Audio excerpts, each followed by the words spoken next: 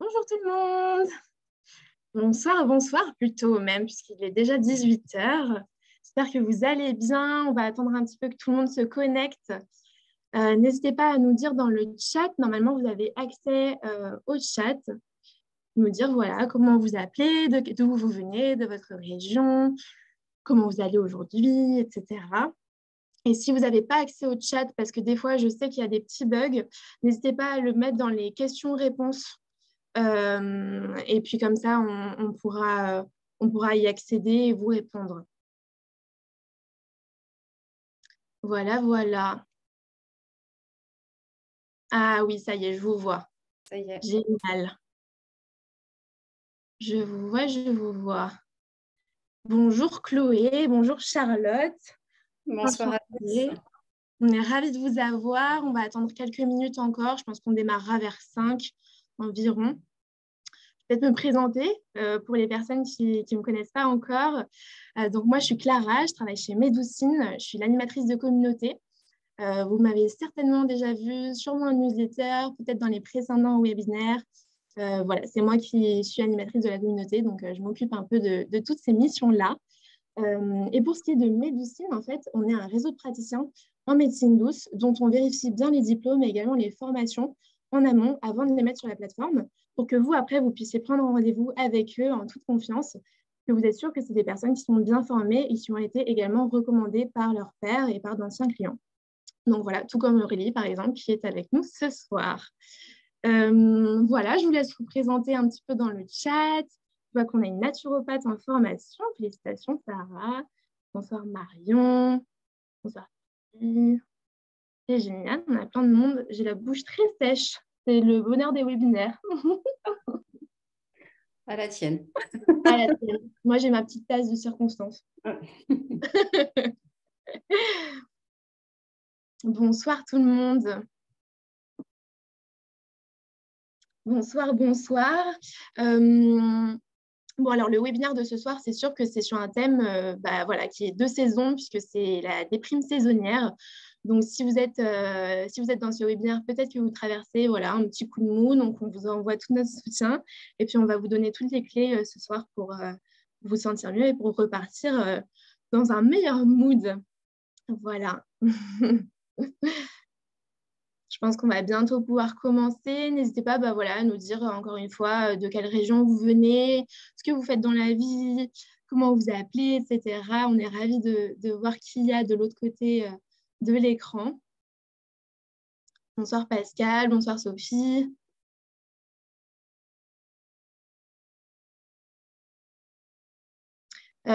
également, je tiens aussi à rappeler que tout ce qu'on va dire dans ce webinaire, donc on va parler de pratiques complémentaires. Euh, qui dit pratique complémentaire dit forcément que ça vient en complémentarité euh, de la médecine conventionnelle. Donc vraiment, on ne remplace en aucun cas un suivi médical et vraiment, j'insiste là-dessus. Donc, euh, n'hésitez pas à consulter en premier lieu votre médecin traitant avant d'appliquer en fait tous les conseils qu'on va partager avec vous ce soir. bonsoir Johanna, je pense que bon, on va pouvoir peut-être commencer. Aurélie, du coup, je vais te, je vais te passer la main. D'accord. Tac, tac, tac. C'est parti. Et je vais rebasculer sur l'autre écran.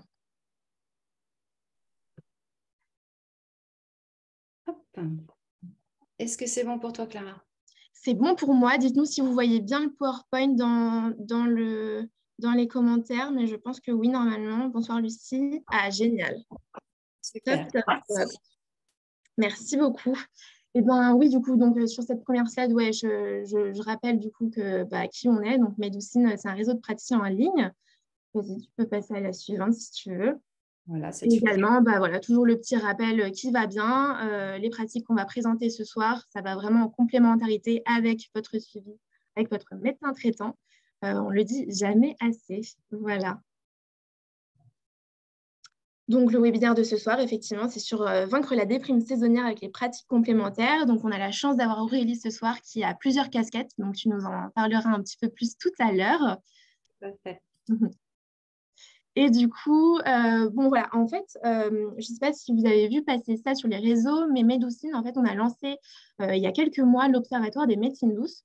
Donc, en fait, on est en partenariat avec Quintessence, qui est un organisme de sondage, et on effectue en fait des sondages avec une partie représentative de la population française pour voir un petit peu bah, voilà, votre rapport avec les médecines douces, comment vous vous sentez à l'instant T, etc. et donc, à l'occasion de celui du mois de décembre, on vous a posé quelques questions euh, sur euh, votre rapport avec la déprime saisonnière. Euh, et on a vu des chiffres assez impressionnants, à savoir que près d'un Français sur deux se dit sujet à la déprime saisonnière. Et bon, bah, sans grosse surprise, malheureusement, c'est plutôt les femmes, donc à 54%, qui sont bah, voilà, le plus sujettes à ce genre de petite déprime, à ce, à ce, courant de l'année. Il y a 7 Français sur 10 qui pensent que les médecines douces, elles peuvent vraiment les aider euh, à se sentir, euh, bah voilà, à soulager leur fatigue, à soulager les baisses d'énergie, également le stress que peuvent occasionner ces petites déprimes. Donc, c'est intéressant aussi de le savoir. Et aussi, 86% des Français connaissent la sophrologie. Donc, c'est une autre pratique encore. Euh, mais en tout cas, c'était assez intéressant de voir que bah, il a jugé aussi intéressant pour, intéressante pardon, pour apprendre à se détendre. Alors, ce soir, on va parler encore d'une autre pratique et même de deux autres pratiques que Aurélie, toi, euh, euh, tu, pratiques.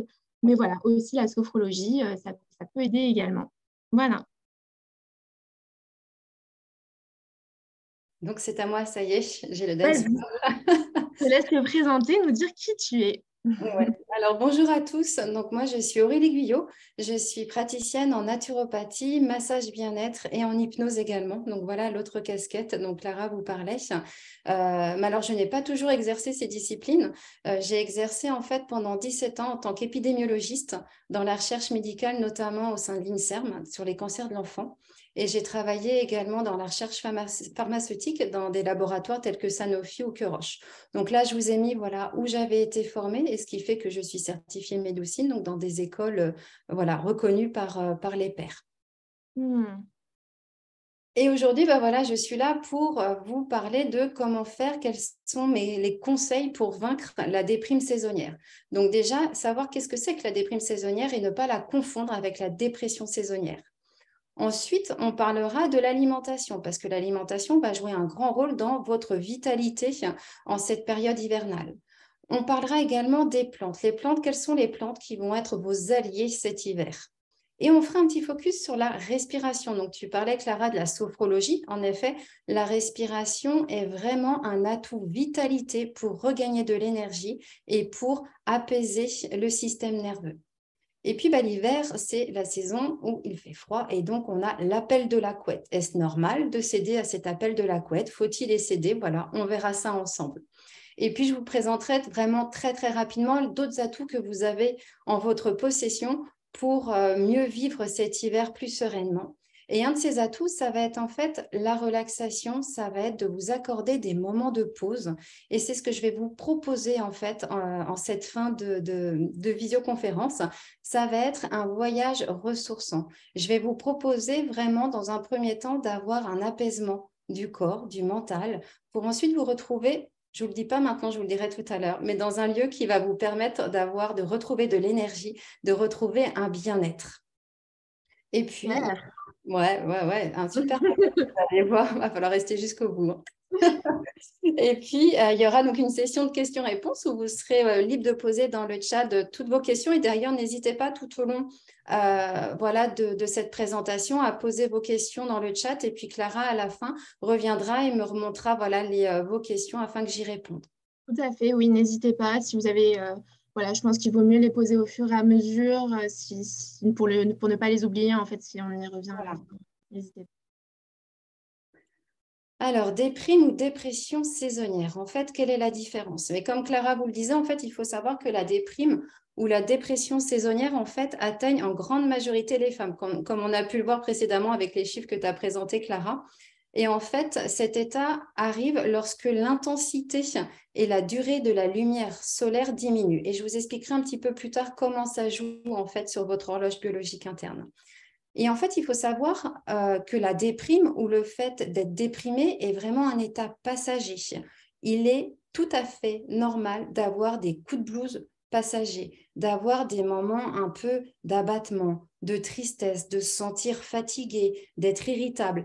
Euh, en fait, on, est, on vit dans une société euh, avec les réseaux sociaux où il y a un dictat du bonheur. Il faut mm. faire voir à tout le monde qu'on est heureux, qu'on est bien portant, qu'on est joyeux. Mais en fait, ce n'est pas le cas tout le temps, en fait. On est, euh, j'ai envie de dire, dans notre vie, on est là aussi pour expérimenter toute une gamme de sentiments. Et dans toute cette palette d'émotions qui va de la plus triste à la plus optimiste, euh, bah, le désespoir, le découragement, la tristesse en font partie. Et en fait, tout ceci participe à notre équilibre psychique. C'est nécessaire de ressentir ces états-là. Maintenant, il ne faut pas que ça perdure dans le temps. Et c'est là où on va voir la différence avec la dépression. La dépression, elle, va avoir une notion de durée dans le temps. Et il y a une notion aussi dans la dépression où il va y avoir une altération profonde euh, du fonctionnement de la personne. La dépression est une maladie qui nécessite une prise en charge par des professionnels de santé. Donc, pour bien différencier en fait euh, la déprime et la dépression, euh, il y a eu des, critères. Donc, il y a eu neuf différences. Il faut savoir que l'assurance maladie, en fait, elle, a elle aussi ses critères. Et pour elle, il faut qu'il y ait une tristesse qui soit intense et durable. on peut l'avoir aussi dans le cas de la déprime, cette tristesse. Mais dans le cas de la dépression, c'est euh, une, tristesse qui va vraiment durer tout le long de la journée et qui va se répéter au fil des jours. Il faut qu'il y ait aussi une perte d'intérêt pour les activités du quotidien, mais également pour les activités qui nous donnaient du plaisir auparavant.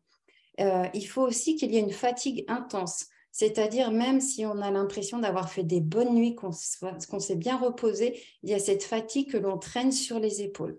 Donc ça, voilà, ce sont les trois principaux symptômes que euh, nous donne l'assurance maladie. Il peut y avoir aussi des effets secondaires euh, à la dépression, tels que en fait des conduites addictives, euh, des, conduites, des troubles alimentaires que l'on ne va pas rencontrer forcément dans la déprime. En fait, ce qui va vraiment faire la différence entre la déprime et la dépression, ça va être l'intensité, euh, l'intensité euh, de ce qui va être ressenti en fait. Euh, on voit bien que dans le cas d'une dépression, il y a vraiment une altération, il y a une atteinte au niveau psychologique de la personne. Et il y a une notion de durée dans la dépression. Pour l'assurance maladie, il faut avoir euh, deux de ces trois symptômes que je vous ai cités précédemment, au moins pendant 15 jours. Alors que la déprime, elle est là pour durer quelques jours, en fait. C'est mm. normal d'avoir deux, trois jours d'abattement. Maintenant, si ça dure dans le temps, si ça dépasse les 15 jours, il vaut mieux consulter euh, un professionnel de santé pour avoir un diagnostic bien précis. Tout à fait, dans le cas aussi euh, de la dépression, il y a en fait une peur, une peur qui s'installe, qui est quasi permanente dans la vie de la personne et c'est cette peur en fait qui va pouvoir entraîner bah, les pensées euh, négatives entre guillemets et tout ce qui va être en fait idée noire. Donc là on voit bien que la dépression est quelque chose de beaucoup plus lourd avec des euh, comment dire des des symptômes qui vont être beaucoup plus marqués, des caractéristiques qui vont être plus profondes et qui s'inscrivent dans la durée. Hmm. Alors, l'alimentation. Comment faire pour garder la vitalité en hiver? Alors, il y a pour moi deux principes déjà. Le premier principe, c'est que l'alimentation doit nous apporter les nutriments dont notre corps a besoin pour bien fonctionner, euh, apporter les nutriments dont nos cellules ont besoin pour pouvoir bien fonctionner et bien faire travailler nos différents systèmes. Le deuxième point, c'est notre alimentation ne doit pas nous demander trop d'énergie en fait. À l'heure actuelle, dans notre époque, on consomme, consomme beaucoup d'énergie dans la digestion. Il faut savoir que normalement, dans une journée, vous devez consommer un tiers de votre énergie dans la digestion un tiers pour votre métabolisme de base pour que votre corps fonctionne et un tiers pour les activités physiques, bah tout ce que les gestes qu'on va faire, le fait de marcher, etc. Vous voyez bien que si vous prenez trop d'énergie dans votre digestion, bah, il y aura moins d'énergie pour le reste et en plus, cela va fatiguer votre organisme. Il va tourner au ralenti. Donc, les deux principes, des temps de digestion rapides. Pour cela, bah, on va mâcher, prendre le temps de mastiquer les aliments quand on est à table. On mange aussi dans le calme. On prend véritablement son temps, on se pose pour manger. Hmm. Ça va vous faire gagner en énergie on va privilégier les produits de saison et je rajouterai même les produits à court circuit. Plus, les fruits et les légumes euh, seront euh, conservés à température ambiante et plus ils vont perdre en vitamines. Donc imaginez un fruit qui vient d'outre-mer, le temps qu'il a passé dans les transports. En plus, il n'a pas été cueilli euh, à maturité. Donc la maturité, quand le fruit est mûr, c'est quand même là qu'il est à son, grand potentiel de vitamines. Euh, donc vous, voilà, vous imaginez que le, fruit que vous allez pouvoir acheter, mais qui vient de loin, n'aura pas les mêmes qualités nutritives que bah, le fruit qui vient de votre région et qui n'aura pas eu à subir autant de transport. Ensuite, manger du cru tous les jours. On a tendance à l'oublier en hiver. En été, on y pense parce qu'on a chaud, donc on se dit les crudités, ça va nous rafraîchir. Eh ben, on n'oublie pas qu'il faut manger du cru tous les jours, également en hiver, pour pouvoir apporter les vitamines, les oligoéléments et les minéraux dont notre corps a besoin pour fonctionner. Et c'est pour ça aussi que vous allez privilégier les cuissons douces et les cuissons courtes, afin de ne pas dégrader tous ces éléments nutritifs des fruits et des légumes. Il faut savoir, par exemple, que la vitamine C euh, commence à se dégrader à partir de 60 degrés. Mmh. Si vous plongez euh, vos légumes, par exemple, dans de l'eau bouillante pour les faire cuire à, l'eau, alors toutes les vitamines qui sont dites hydrosolubles, c'est-à-dire qui se dissouent dans l'eau, ou tous les oligo-éléments vont aussi se dissoudre dans l'eau, et c'est un petit peu dommage de laisser dans l'eau et de ne pas avoir tous ces éléments dans les aliments que vous allez manger. Donc, vous allez privilégier plutôt des cuissons à la vapeur ou à, ou à l'étuvée. Et mmh. consommer les bons oméga 3. Alors ça, on en parle souvent, des bons oméga 3. Euh, donc ça, c'est des oméga, euh, ce sont des bons gras, entre guillemets, que vous allez retrouver dans euh, les petits poissons gras tels que la sardine, les maquereaux. Et l'huile de lin et l'huile de colza qu'il va falloir prendre l'habitude d'intégrer dans vos vinaigrettes. Ce sont des huiles qui ne se font pas cuire, mais que vous allez pouvoir donc mettre dans vos vinaigrettes ou sinon mettre sur vos légumes, sur vos féculents, une fois que ceux-ci seront dans votre assiette. Il, a, euh, il y a eu des études euh, qui ont prouvé que les gens qui souffraient de dépression, en fait, avaient un faible niveau dans le sang d'oméga 3. Et d'autres études ont prouvé qu'une supplémentation en oméga 3, justement, avait des effets bénéfiques sur l'humeur et sur le risque de dépression ou de déprime. Hmm. Juste, je fais une toute petite parenthèse pour les personnes qui demandent. Effectivement, euh, il y aura accès au replay du webinaire ainsi qu'au PDF. Donc, ne vous inquiétez pas. pas besoin de prendre des notes. Écoutez-moi et puis. Exactement. Parce que c'est vrai que ça fait beaucoup d'informations. Ouais, ouais. Et juste, j'ai une petite question pertinente. Euh, bon, après, on, reviendra après sur toutes les autres questions. Mais il y a Ouda qui me demande, euh, quand on cuit à la vapeur, est-ce que ça n'a pas le même impact négatif puisque c'est à 100 degrés?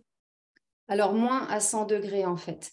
Euh, maintenant, vous avez même des, des autocuiseurs ou les robots de cuisine, hein, je ne vais pas les citer, mais on les connaît tous, euh, sur lesquels vous pouvez choisir euh, euh, le, degré de la température. Donc, un conseil, si vous pouvez, n'allez pas à plus de 90 degrés. Déjà, vous avez quand même perdu un certain nombre de vitamines à cette température-là, mais voilà, il en reste encore. Au-dessus de 110, 110 degrés, 120 degrés, là, il y a vraiment une détérioration et une perte de qualité nutritive. Donc, c'est la cuisson à la poêle, typiquement, vous perdez énormément euh, de, ces, euh, de, ces nutriments, de ces minéraux, de ces oligo-éléments et de ces vitamines. D'accord. Alors, quand on parle d'alimentation, vitalité, on ne peut pas faire l'impasse aussi des neurotransmetteurs. En fait, qu'est-ce qu'un neurotransmetteur? En fait, c'est une substance qui va transmettre un message de neurone en neurone, donc au niveau de votre cerveau. Et ces neurotransmetteurs euh, transmettent des messages qui leur sont propres. Vraiment, je, grossis et je schématise.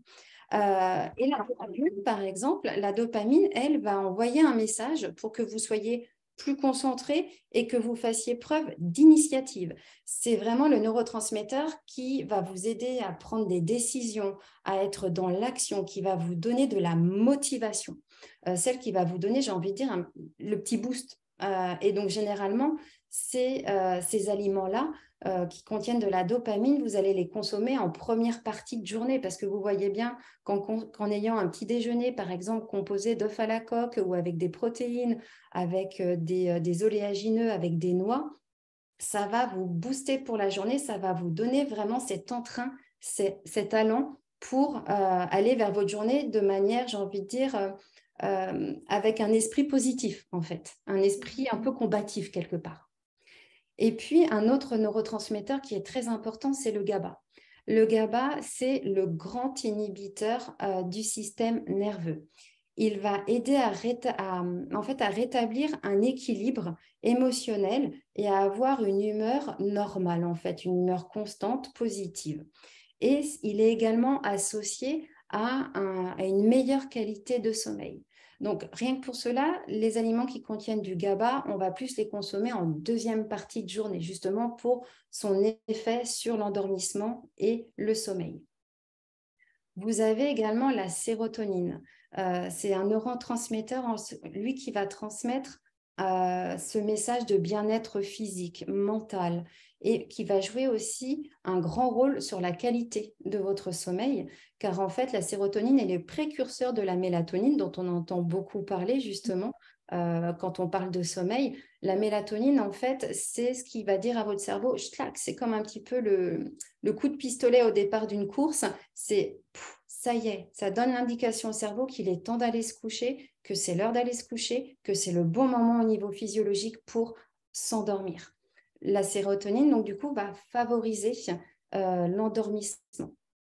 Les euh, aliments que vous voyez donc euh, inscrits sous la sérotonine contiennent du tryptophane. Le tryptophane, c'est le précurseur là aussi de la sérotonine.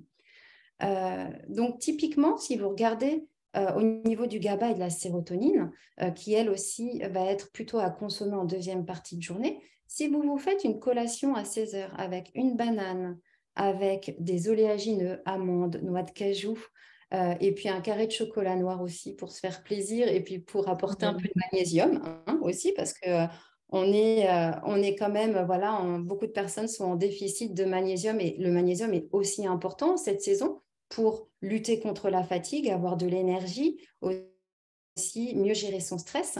Donc vous voyez qu'une petit, collation banane, oléagineux, carré de chocolat noir va vous apporter en fait les éléments nécessaires pour un équilibre émotionnel et passer de bonnes nuits. Mmh. En plus, ça va, c'est plutôt bon comme thé. Euh. C'est ça, c'est plutôt sympa. Je ne vous demande pas de, manger quelque chose de pas très sympa, mais voilà. Le chocolat noir, surtout si c'est du cacao cru, euh, est tout à fait bénéfique pour la santé. Le cacao cru est plein de nutriments, vu que la fève de cacao n'a pas été torréfiée. Euh, donc, ça conservait véritablement tous ses nutriments et tous ses bienfaits. Donc, euh, le cacao cru, on peut se faire plaisir en quantité raisonnable, mais faites-vous plaisir quand même.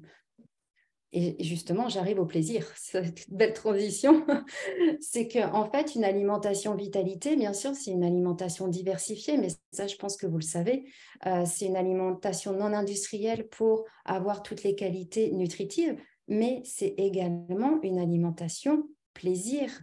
Euh, le plaisir fait partie de notre vie. Le plaisir fait partie de notre bien-être. En fait, sans plaisir, comment voulez-vous bien aller? Il faut savoir se faire plaisir dans la vie pour pouvoir avoir cette vitalité et cette joie de vivre. Et le plaisir, bah, surtout en France, passe beaucoup parce qu'on met dans son assiette et parce qu'on mange. Donc là aussi, faites-vous plaisir. Bien entendu, il faut faire attention à avoir cet équilibre alimentaire dont on vient de parler, avoir cette, euh, cette alimentation diversifiée, mais on a le droit à des moments conviviaux où, on va un petit peu, entre guillemets, se lâcher au niveau alimentaire pour euh, voilà, se faire plaisir avec un bon gâteau au chocolat si on en a envie, en fait, ou avec ce qui, ce qui, ce qui vous tente.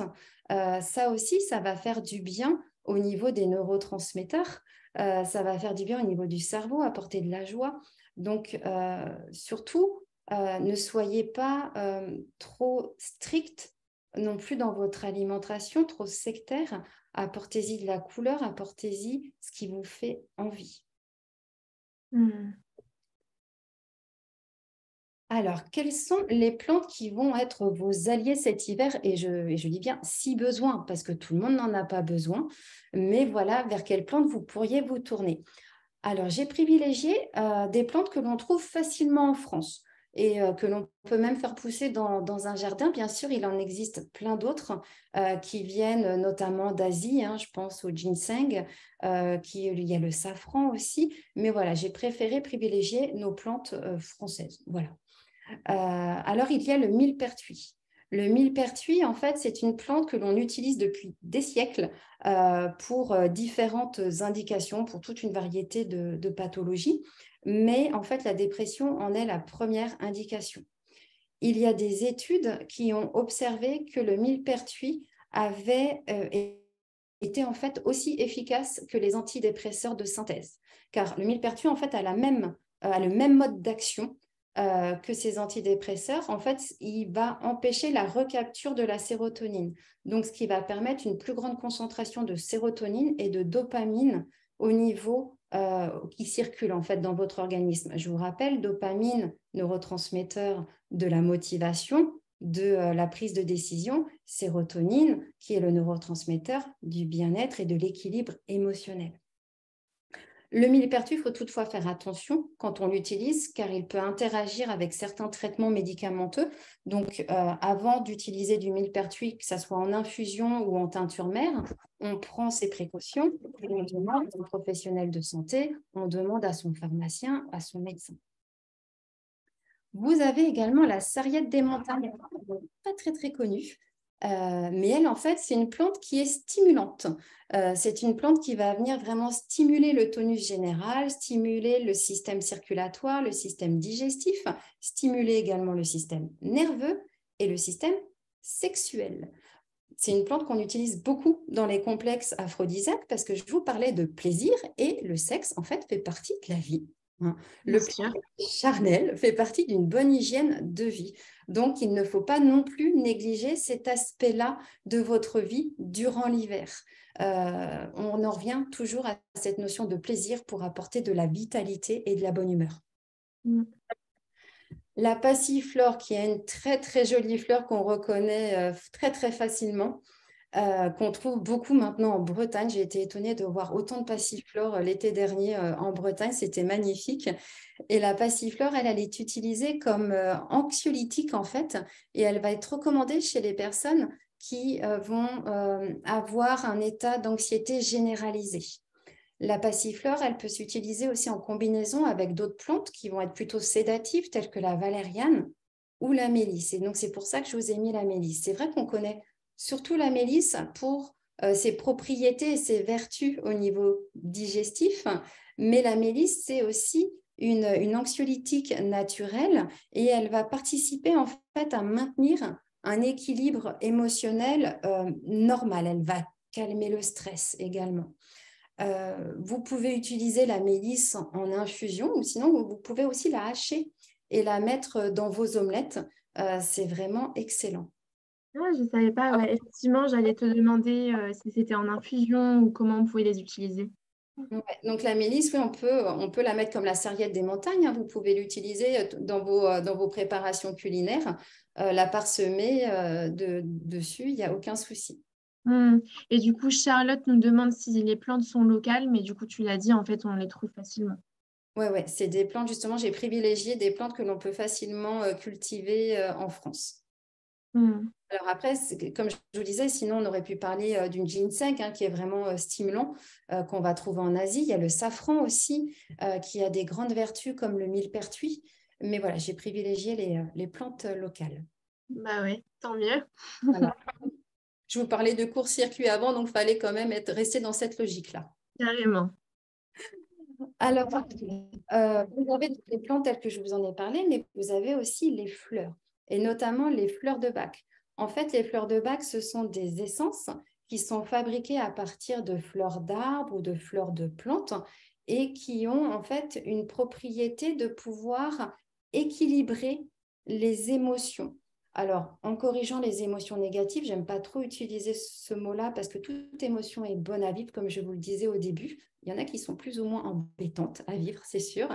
Euh, mais voilà, donc je vous ai sélectionné trois fleurs de bac pour avoir euh, traversé euh, cet hiver et avoir un hiver plus serein. Donc la première, la première c'est le noyer.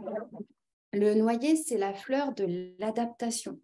elle va être recommandée en fait à ceux qui ont un besoin de se protéger des influences extérieures et qui euh, ont besoin de se protéger surtout pendant les périodes de changement, en fait, là où ils ne peuvent pas être actifs, où ils vont devoir subir, en fait, le changement. Et ben, qu'est-ce qu'on qu'est-ce subit? Nous, quand on rentre en l'hiver, on subit le changement de luminosité, on, on subit le changement d'heure qui vient dérégler notre horloge biologique. Donc, vraiment, le noyer, là, a toute sa place dans ces moments de transition, en fait. Mmh la moutarde, la moutarde qui est la fleur de la stabilité, de la clarté d'esprit, euh, elle va aider à surmonter l'abattement, la mélancolie et en fait la tristesse qui se manifeste sans qu'il y ait aucune raison apparente. C'est-à-dire que dans votre vie, bah, ça va en fait, tout va bien, mais il y a ce petit fond à l'intérieur qui fait que, voilà, j'ai envie de dire que ça coince quelque part et il n'y a pas de lien avec ce que vous vivez. Donc du coup, euh, la moutarde, on va la, conseiller à des personnes qui, à l'entrée de l'hiver, ont une baisse de morale, un petit coup de mou, mais ils ne savent pas pourquoi, en fait. Ça, ça va leur apporter, ça va leur faire beaucoup de bien. Il y a également le charme. Alors là, c'est la fleur de l'entrain, du dynamisme, de la vitalité. En fait, elle va aider à surmonter la fatigue, la lassitude, le manque d'intérêt.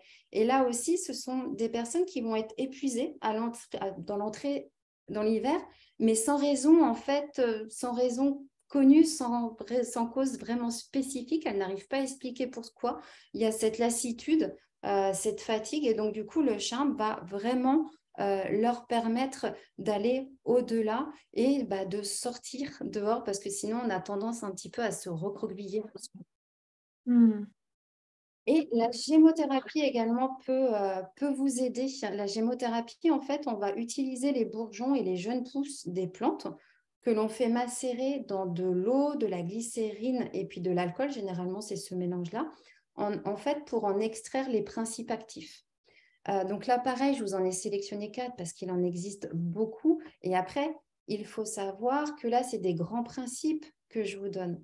Euh, mais il faut à chaque fois adapter la plante, adapter le bourgeon à votre situation. Donc là aussi, il, ne faut pas hésiter à se faire aider d'un professionnel, euh, que ce soit donc euh, une naturopathe, une aromathérapeute, les professionnels des pharmaciens maintenant aussi, certains sont très bien formés aux fleurs de bac et aux bourgeons, donc il ne faut pas hésiter à demander conseil. Mmh. Alors, je vous, ai sélectionné le pain sylvestre. Le pain sylvestre, c'est vraiment action tonifiante au niveau euh, psychique et mental. C'est je me remets en route. Euh, ça favorise la solidité et ça vient en plus réactiver le système immunitaire. Donc, j'ai envie de dire le deuxième effet euh, qui se coule quelque part. Oui, c'est pas plus mal. Euh, si ça peut jouer sur plusieurs plans, tant mieux. Euh, vous avez le figuier. Le figuier, c'est vraiment, euh, il possède en fait des propriétés équilibrantes. il va venir équilibrer le système nerveux. C'est aussi un anxiolytique naturel et il va agir directement sur votre système endocrinien. Le système endocrinien, c'est le siège des émotions et c'est le centre de régulation de vos hormones. Donc, il va vraiment agir sur plusieurs plans et amener cet équilibre, cet apaisement du système nerveux. Le tilleul, lui, c'est le régénérant. Euh, c'est le bourgeon qui va permettre de réparer quand on a l'impression que tout va mal dans sa vie, que les nerfs sont mis à rude épreuve, qu'on a l'impression qu'il n'y a plus d'échappatoire, que c'est fichu, que j'ai envie de dire, eh ben, le tilleul, il va venir réparer ce qu'on croyait brisé, en fait. Euh, donc, il sera très adapté aux situations où il y a vraiment beaucoup de stress, où il peut y avoir aussi des troubles du sommeil et dans les cas d'anxiété qui sont chroniques. Et puis l'aubépine, c'est la, c'est, la fleur, c'est la fleur du cœur, l'aubépine. Euh, c'est je retrouve ma joie, je positive. Euh, elle va ramener en fait les sensations vers le cœur afin de les éloigner du mental. Elle va ramener les choses plus intérieurement afin d'avoir moins ce petit vélo, j'ai envie de dire, dans la tête. Elle va vraiment avoir une action calmante au niveau du cerveau pour euh, réduire l'anxiété et réguler la tension. On nous demande juste s'il y a des contre-indications. Et alors, on nous demande la posologie, mais c'est vrai qu'en fleur de bac euh, et en, gémothérapie, on ne parle pas trop de posologie puisque c'est des compléments alimentaires et pas des médicaments. Mais est-ce que tu peux dire un petit peu comment les prendre euh, rapidement? Alors, il faut savoir que les fleurs de bac, il n'y a euh, pas d'effet secondaire, aucune toxicité, donc c'est vraiment ouvert à tous. Euh, les fleurs de bac, généralement, on va en prendre euh, trois gouttes quatre fois dans la journée. Alors, il faut savoir que certaines contiennent euh, de l'alcool. Donc, maintenant, ils font des fleurs de bac avec du sirop d'érable, justement ah. pour les enfants ou pour les personnes qui ne peuvent pas consommer, consommer d'alcool. Mais voilà, c'est quatre fois par jour, trois gouttes. Les bourgeons, cela va dépendre en fait des marques. Euh, mais généralement, c'est 5 euh, à 15 gouttes par jour qu'on va répartir en trois fois si c'est possible. Mais voilà, après, tout va dépendre. Parce que les bourgeons peuvent, si vous voulez, les bourgeons ont une action sur euh, une action sur le corps énergétique, le corps vibratoire, donc sur les émotions, mais a aussi une action sur le corps physique. Donc, ça va être en fait aux professionnels de voir combien il vous faut deux gouttes afin d'avoir l'action sur le corps que l'on veut en fait. Est-ce qu'on veut vraiment une action physique? Parce qu'il y a des vraiment que si vous prenez euh, certains bourgeons qui vont avoir un côté assainissant au niveau des intestins, donc vous voyez là on est vraiment sur quelque chose de beaucoup plus physiologique. Euh, alors que si on cherche à jouer sur les émotions, il va falloir être beaucoup plus subtil dans le dosage. Mmh, d'accord. et, dans ce qu'on conseille. Ok. Alors, on parlait de sophrologie tout à l'heure. Et en sophrologie, bah oui, on apprend à bien respirer. Et en effet, la respiration, c'est un grand atout vitalité pour votre hiver. Euh, tout en nous respire, en fait. Euh, et il faut savoir que euh, quand on respire, on vient oxygéner ses tissus. Une cellule qui est bien oxygénée, c'est une cellule qui va vous donner de l'énergie. La cellule vous fournit de l'énergie parce que vous lui fournissez de l'oxygène et du glucose via votre alimentation. Il y a trois étages dans la respiration. Il y a l'étage claviculaire. Et en fait, c'est une respiration qu'on va tendance à avoir quand il y a une situation de stress ou d'urgence. Donc, vous voyez, c'est les gens généralement qui respirent comme ça. Et en fait, de nos jours, il y a de plus en plus de personnes stressées donc, qui ont cette respiration. Donc, on voit bien qu'avec une respiration qui est courte, l'oxygénation ne se fait pas bien au niveau de l'organisme. Ensuite, on a la respiration thoracique. Donc ça, c'est la respiration qu'on a de façon inconsciente, autonome. Et en fait, elle qui représente environ 70% de notre capacité respiratoire totale et qui, du coup, n'est pas encore suffisante pour avoir une oxygénation complète de l'organisme. Il va falloir faire intervenir l'étage abdominal. Les nouveau-nés, les animaux, savent respirer de façon inconsciente par euh, cet étage-là. Nous, on l'a oublié avec le temps. Donc maintenant, ça nous demande de mettre de la conscience, de la volonté pour pouvoir utiliser cet étage abdominal. Le principe, c'est que lorsque l'on inspire, on vient gonfler le ventre et à l'expiration, on vient l'abaisser. Alors attention, on ne gonfle pas son ventre comme un ballon de baudruche, en fait. On, le fait euh, en respect de sa, de sa physionomie, de sa physiologie. On gonfle un petit peu et hop, ça s'abaisse. On pense toujours à verrouiller son périnée aussi pendant tous ces exercices-là. Et pourquoi en fait avoir cette respiration abdominale? Parce que, comme je vous l'ai dit, meilleure oxygénation des tissus, donc vous allez produire de l'énergie. Ça va activer votre système parasympathique qui est celui de la détente, de la relaxation. Du coup, vous réduisez le niveau de stress, le niveau d'anxiété au profit de la sérénité. Ça va diminuer le rythme cardiaque, la tension artérielle, un effet calmant et qui va être propice à l'endormissement. Et vous allez me dire, mais qu'est-ce que je dois choisir? Parce que maintenant, on nous dit, il faut faire cette, cette, respiration, euh, il faut faire celle-ci, celle-ci, elle est bien. Enfin, en fait, sachez que toutes les respirations ont quand même euh, des objectifs communs, qui est d'oxygéner donc l'organisme et de vous faire vous concentrer sur votre respiration, parce que lorsque vous êtes concentré sur votre respiration, vous lâchez le mental. Vous ne pensez plus à rien d'autre, en fait. Donc, pour commencer, j'ai envie de vous dire, soyez simple. Déjà, commencez par pratiquer la respiration abdominale. Une fois que vous avez acquis cette respiration, faites une respiration qu'on dit complète, c'est-à-dire que à l'inspiration, vous allez commencer par inspirer euh, par l'abdomen, le, ventre, ensuite venir ouvrir la cage thoracique et en dernier, vous allez finir par les clavicules et à l'expiration, vous allez faire l'inverse. J'ai moi, j'imagine toujours une vague, une vague qui monte en moi. Hmm. Et puis ensuite, bah, elle repart vers la mer. Et donc, du coup, c'est le chemin inverse. Et une fois que vous aurez cette respiration complète euh, qui sera facile à faire, qui sera beaucoup plus, euh, j'ai envie de dire, comment dire, intuitive pour vous, alors oui, vous pouvez aller vers la respiration carrée, la cohérence cardiaque, euh, le Nadi Shodhana qui est très connu en fait des, des gens qui font le yoga, mais déjà, aller au plus simple pour bien apprivoiser la respiration complète et ensuite vous pourrez passer aux différentes respirations. Mmh. Et est-ce que plus on le fait, plus ça devient facile? Parce que je sais que des fois, on a le diaphragme complètement bloqué et en fait, même respirer, en fait, c'est respirer comme ça, en fait, c'est compliqué. Non, alors ça se, alors au début, ça peut être compliqué, euh, je vous l'accorde, parce qu'on n'a plus cette habitude et même au niveau thoracique, hein, euh, je me rends compte en cabinet que les gens ont même plus l'habitude de respirer au niveau thoracique. Euh, moi, le conseil que je vous donnerais, c'est de, déjà de commencer à allonger parce que c'est beaucoup plus simple. Pour le niveau abdominal, on va venir poser ses mains sur, l'abdomen et venir en fait accompagner ce mouvement de haut en bas. Et là, on voit si notre ventre se gonfle et se dégonfle. Pour la cage thoracique, moi, ce que je préconise, hop, j'ai un petit peu baissé, euh, ça va être en fait de juste faire venir toucher ces majeurs et de venir poser vos mains sur la poitrine.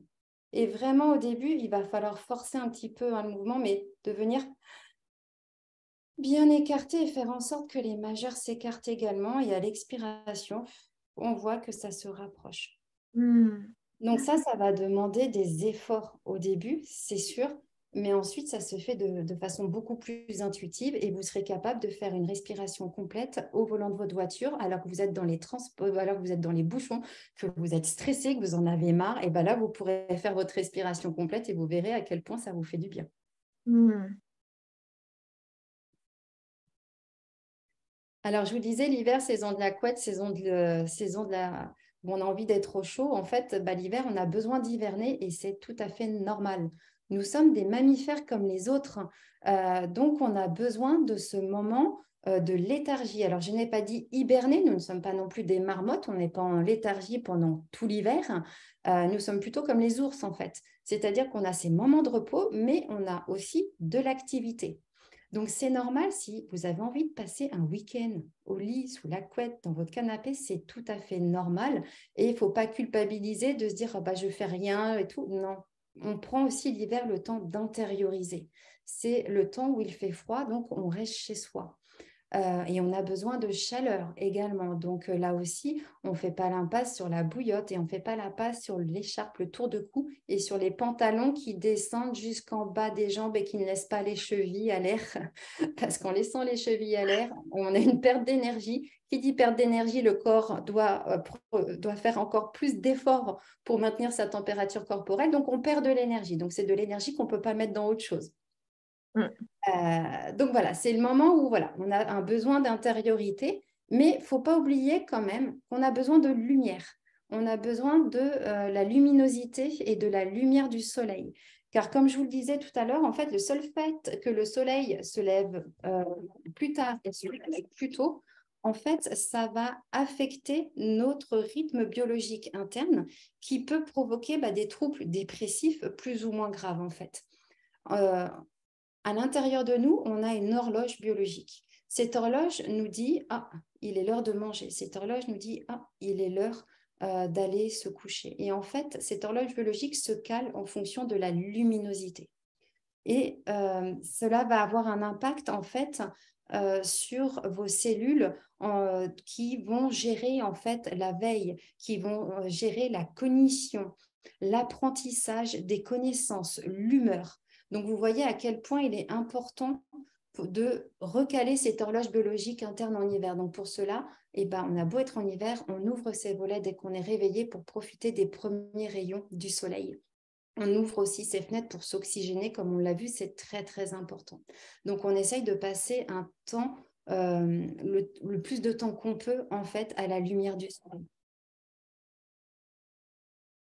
Attention vos autres atouts également euh, en votre possession, eh ben, vous avez l'activité physique. Ce n'est pas parce qu'il fait froid qu'on n'a pas le droit d'aller faire un petit peu de sport. L'activité physique, ça va vous faire du bien au corps, bien sûr, mais du bien aussi au moral. Ça va vous donner euh, du dynamisme, de l'entrain. Ça va venir calmer le stress. Donc là aussi, si on décide de se remettre à l'activité physique, on y va en douceur pour ne pas se blesser et pour ne pas se décourager non plus. On écoute son corps, ce qui est bon pour lui l'hydrologie. Et l'hiver, il faut qu'on ait chaud, donc eh ben, on prend des bains chauds. Si on transpire, on peut se faire une petite séance au sauna. En plus, ça nous relaxe, ça fait du bien. Euh, ça fait du bien au corps, ça fait du bien au moral. Donc, euh, du coup, voilà, on en profite et en plus, ça vient réchauffer le corps la relaxation, telle que vous allez la vivre dans quelques instants, mais la relaxation, donc ça peut être aussi via la sophrologie, ça peut être via la méditation et ça peut être aussi via un massage bien-être euh, que l'on s'offre pour justement juste poser le mental un moment et juste se laisser aller. Et puis, si vous n'arrivez pas à prendre assez la lumière ou si vous sentez qu'à l'intérieur, voilà, c'est pas suffisant, vous pouvez toujours investir dans des lumières spécifiques pour faire ce qu'on appelle de la luminothérapie. Et maintenant, ils, vous, vendent aussi des petits bandeaux que l'on met dès le réveil, donc que l'on peut garder au petit déjeuner et qui euh, diffusent de la lumière naturelle euh, afin d'avoir son quota en fait de lumière solaire pour la journée. Et donc, ce qui va vraiment impacter sur votre horloge biologique. Et puis pour finir, j'ai envie de vous dire qu'en fait, vous êtes acteur en fait de votre, de votre bien-être comme vous l'avez vu. C'est vous qui allez mettre en place l'alimentation, la respiration euh, ces autres activités aussi. Et la première chose que j'ai envie de vous demander, de vous, de vous conseiller de faire, c'est déjà d'avoir des pensées positives le matin quand vous vous levez. D'avoir ce petit rituel de se dire, tiens, comment va être ma journée? Et de ne pas se dire, oh, purée, j'ai encore cette réunion, oh purée, puis il y a un tel, et puis il y a ci, et puis il y a ça. Non, Pensez à ce qu'il y a de positif dans votre journée. Tiens, bah, ce midi, je mange avec Martine. C'est génial. On va bien rire. C'est une grande rigolote. Je vais passer un bon moment. Tiens, j'ai cette réunion. C'est génial. Je vais pouvoir euh, donner mes idées, faire, euh, faire valoir mes compétences. Ayez la pensée positive. La pensée positive va décaler à l'intérieur euh, votre façon d'envisager la journée. Ça va vous donner plus d'entrain, plus d'élan, plus de dynamisme pour votre journée. Donc voilà ce que j'avais envie de vous dire, en tout cas euh, aujourd'hui. Et euh, je ne sais pas, Clara, s'il y a des questions avant qu'on passe à la relaxation. Ouais, ouais, ouais. Alors, euh, effectivement, j'en ai quelques-unes. Alors, on repart du coup un peu sur les sujets du début, où tu parlais du coup de la définition de la déprime baisse, de la dépression selon l'assurance maladie. Il y a Céline qui nous dit, pour l'assurance maladie, cela reste très administratif, entre guillemets. Donc, ça signifie aussi que d'après les médecins, en fait, il y a cette euh, distinction entre les deux. Oui, ça reste, euh, bah, de manière, c'est codifié, hein, c'est un, peu comme tout, c'est assez administratif. Donc, il faut avoir deux symptômes euh, parmi tous ceux que je vous ai cités. Il faut que ça perdure pendant plus de 15 jours et il faut aussi qu'il y ait une altération importante dans la vie quotidienne de la personne pour que ça soit diagnostiqué dépression. Mmh. Voilà, mais c'est oui, c'est bah, très codé il faut bien donner une définition en même temps, il hein. faut avoir toujours des bases, hein. euh, mais c'est pour ça qu'il est important, si vous voyez que cet état de lassitude, euh, ce coup de blues perdure, d'avoir quand même un avis euh, extérieur et un avis d'un professionnel pour voir s'il est nécessaire de mettre des choses en place. Et puis, il y a quand même maintenant des euh, médecins généralistes ou autres qui se tournent aussi vers des choses plus naturelles. Et euh, moi, je sais qu'autour de moi, j'ai des médecins quand même qui prescrivent le millepertuis. Mmh. Euh, donc voilà, ça commence aussi un petit peu à s'ouvrir. Ouais, c'est génial. Mmh. Et sinon, bah, il y a Florence qui nous dit au sujet de la, de la luminothérapie qu'elle a acheté des petites lunettes et que l'effet était immédiat et que c'est super. Donc, trop cool. Si vous mettez déjà en place certaines choses, c'est super. Voilà, bah, je pense qu'on peut commencer par euh, la mise en pratique là.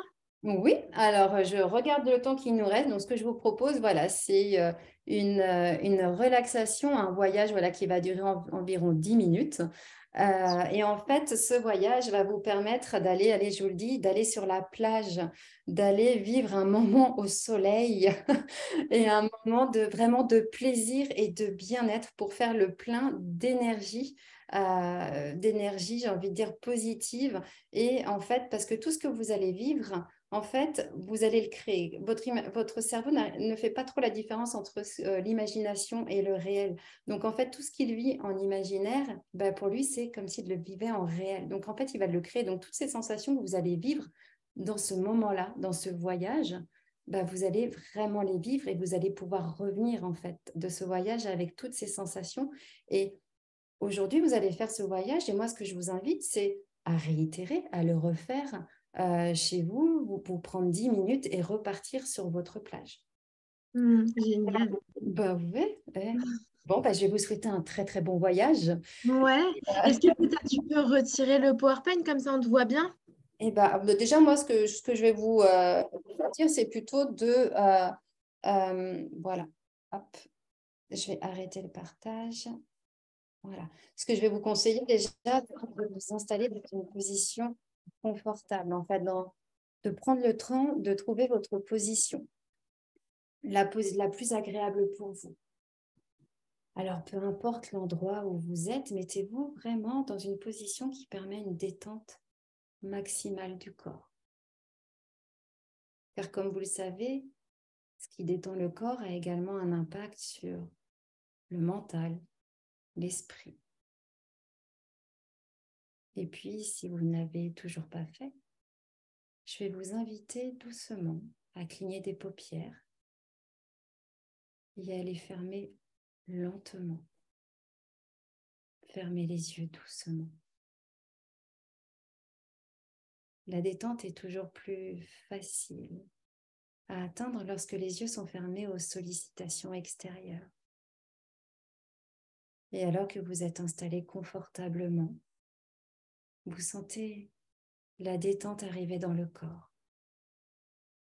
N'allez pas trop vite à ressentir cet état de relaxation corporelle.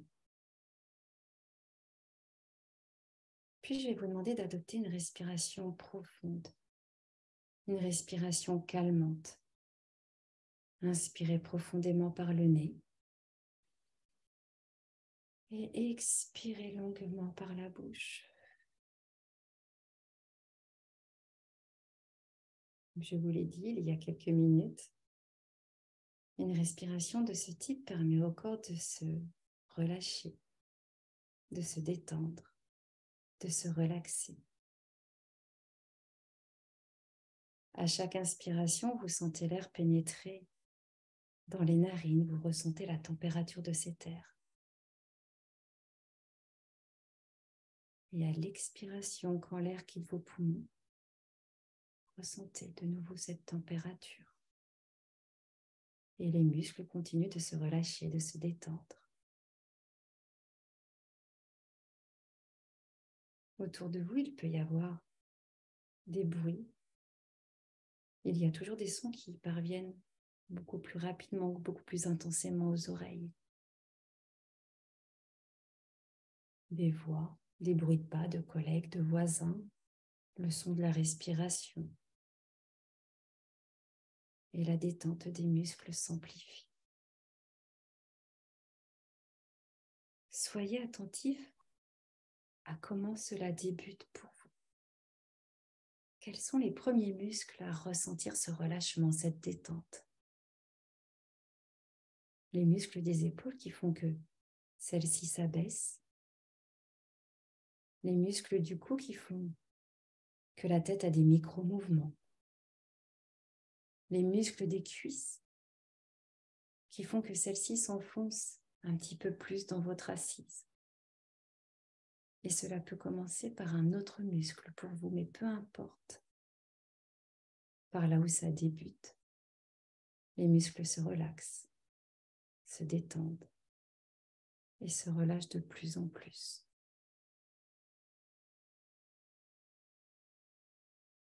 Au son autour de vous, il y a ma voix, ma voix qui vous guide dans ce voyage. Il y a des silences entre chaque mot, chaque phrase. Et les muscles continuent de se relâcher, de se détendre, de se relaxer encore plus à chaque silence dans ma voix. Et cet état de détente continuera sans intervention volontaire de votre part. Et la détente se généralise au corps comme si elle glissait à l'intérieur de vous, s'installait dans tous les muscles, alors que toute tension disparaît. Et à ce stade, c'est le bon moment pour débuter le voyage. C'est à ce moment-là de détente que l'imagination se développe comme si une plus grande place lui avait été faite. Et cette imagination vous transporte vers votre plage. Une plage que vous connaissez ou une plage qui vous fait rêver mais que vous ne connaissez pas encore.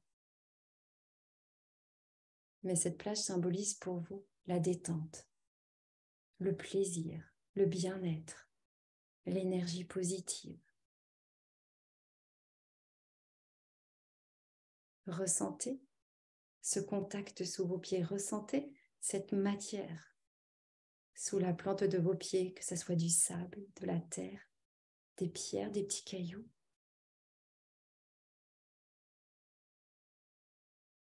Ressentez également la température qu'il règne sur cette plage.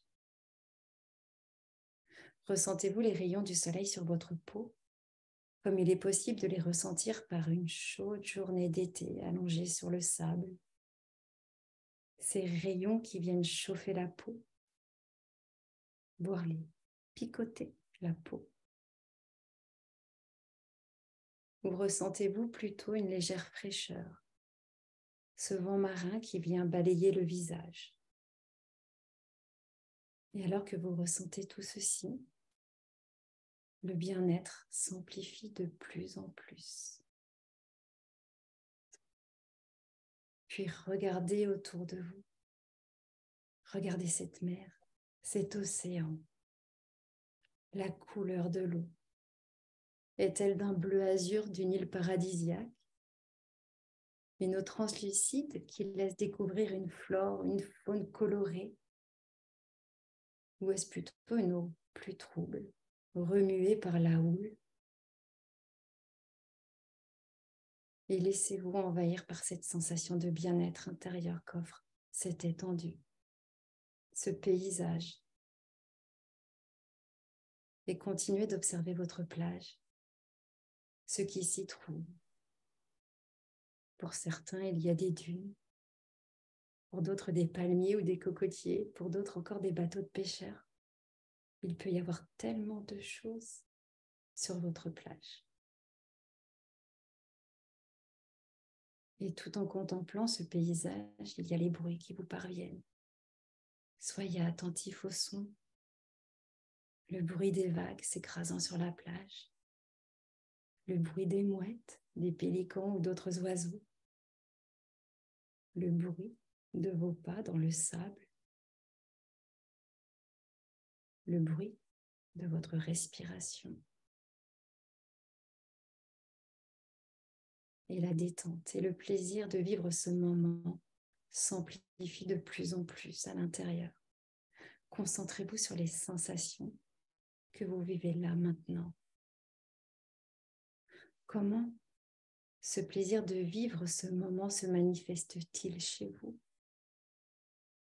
Des gargouillis, des picotements, une sensation de plus grande liberté intérieure, de grande légèreté, une envie de rire, une envie de sourire ou autre chose, en fait, comme il est bon pour vous de ressentir. Cet espace est votre espace, votre lieu de bien-être, là où vous pouvez faire tout ce que vous souhaitez en sécurité. Alors allez-y, visitez, revisitez, sentez, ressentez votre endroit, votre plage. Et venez respirer pleinement. Faites le plein d'énergie avec cet air pur. Prenez plaisir à faire ce que vous souhaitez faire. et lâchez-vous Laissez éclater votre énergie, laissez parler votre insouciance sur cette plage. Faites ce qui est bon pour vous pour venir encore amplifier ce plaisir, amplifier ce bien-être. Car c'est tellement agréable quand on fait ce que l'on souhaite, n'est-ce pas? Alors, laissez-vous aller à aller vous baigner, à vous reposer sur un transat ou à vous allonger à même le sable. Baladez-vous sur la plage, courez si vous souhaitez. Et plus vous vivez ces instants, plus le bien-être et le plaisir s'amplifient au fur et à mesure des secondes. Et il va être temps maintenant, maintenant de revenir à un état plus présent. Mais vous savez que vous conserverez en vous toutes ces sensations, ce plaisir, ce bien-être, cette énergie. Vous les conserverez aujourd'hui, demain et bien plus encore. Et vous savez que vous pouvez y revenir juste en fermant les yeux et en revoyant cette plage. Et vous allez de nouveau maintenant ressentir le contact de vos vêtements sur votre corps, ressentir de nouveau le poids de votre corps sur votre chaise, sur votre canapé, sur votre lit. Puis vous sentez également que le son de ma voix s'est modifié, que la vitesse aussi de ma voix s'est accélérée. Et tout ceci vous fait revenir un petit peu plus dans l'instant présent, ici et maintenant. Et puis vous allez pouvoir hum, vous étirer, bouger, voilà, reprendre un petit peu plus conscience de l'endroit où vous êtes dans cette conférence, de ce webinaire de médecine. Et j'espère que ce moment voilà, sur votre plage vous a fait un grand bien. Euh, et sachez que vous pouvez y retourner quand vous voulez. Vous avez cette capacité en vous pour vous évader et aller trouver le bien-être là où il est. Tout à fait, ouais. C'était super. Moi, je me suis baignée, en tout cas. J'espère que vous aussi, ou peut-être que vous avez fait d'autres choses, mais moi, j'ai fait ma petite baignade. Donc, euh, Dites-nous dans, la discussion comment vous avez trouvé cette petite, euh, séance euh, de petit voyage. Ouais, alors assez rapide, hein, je vous l'accorde, mais 10 euh, minutes, ça fait toujours un bien fou. Juste le prendre de poser votre respiration, comme voilà, on a appris juste avant à le faire, ce qui vient vraiment vous calmer au niveau du corps, au niveau du mental, de l'esprit.